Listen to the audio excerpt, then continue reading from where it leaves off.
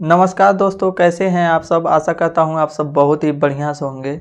दोस्तों, इस वीडियो में मैं आपको हियरिंग लॉस डिफनेस यानी बहरेपन की जानकारी दूँगा और और इसके काजेज सिम्टम और सबसे लास्ट में इसकी बेस्ट होम्योपैथिक मेडिसिन भी बताऊँगा।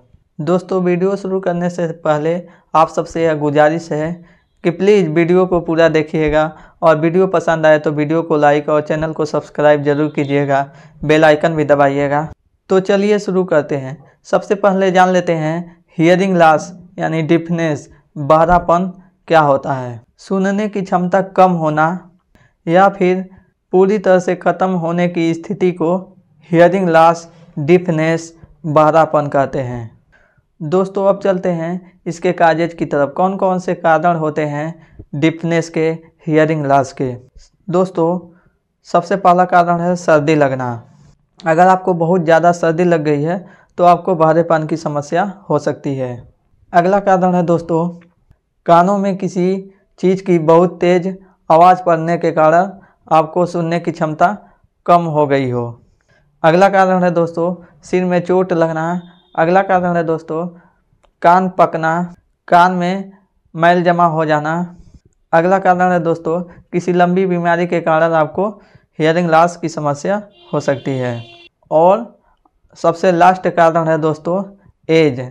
अगर आप 60 प्लस हो गए हैं तो आपको धीरे धीरे हियरिंग लॉस की समस्या शुरू हो सकती है।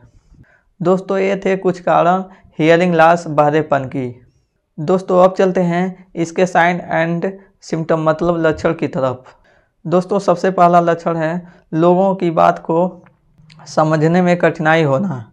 दूसरा लक्षण है दोस्तों, बातें सुनाई देना, लेकिन समझने में परेशानी होना। अगला लक्षण है दोस्तों, अचानक कुछ सुनाई न देना। दोस्तों, ये थे इसके लक्षण। अब चलते हैं इसकी होम्योपैथिक मेडिसिन की तरफ़। दोस्तों, सबसे पहली और सबसे इफ़ेक्टिव मेडिसिन है काली म्यूज सिक्स एक्स काली म्यूज सिक्स एक्स की पिक्चर आपको साइड में दिखी रही है। दोस्तों, यह बहरेपन के लिए खास तौर पर दी जाती है। इसको लेने से किसी भी कारण से बंद कान खुल जाता है। तो काली म्यूर सिक्स एक्स चार गोली सुबह, चार गोली दोपहर में, चार गोली शाम को चूसना चाहिए। दोस्तों, नंबर दूसरी मेडिसिन है मैग्नीशिया कार्ब 200 मैग्नीशिया कार्ब 200 की पिक्चर आपको साइड में दिखी रही है।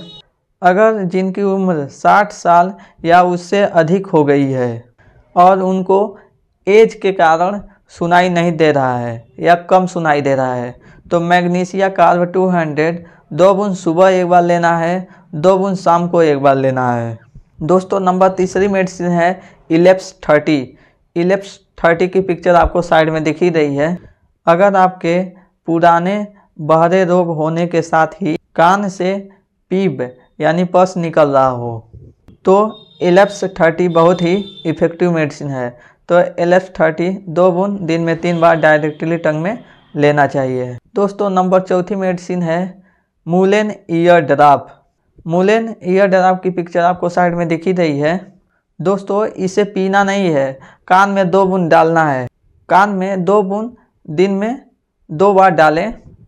दोस्तों, ये सभी मेडिसिन तीन महीने तक लें। आराम लगे तो इसे पाँच से सात महीने तक लें। आपके बहरेपन की समस्या पूरी तरह से ठीक हो जाएगी। दोस्तों, आज के इस वीडियो में फ़िलहाल इतना ही। अगर वीडियो पसंद आया हो तो वीडियो को लाइक और चैनल को सब्सक्राइब ज़रूर कीजिएगा। बेल आइकन भी दबाइएगा। मैं इसी तरह से homeopathic medicine related, disease related आप लोगों के लिए वीडियो लाता रहता हूँ। और कमेंट करके बताइएगा दोस्तों, वीडियो कैसा लगा।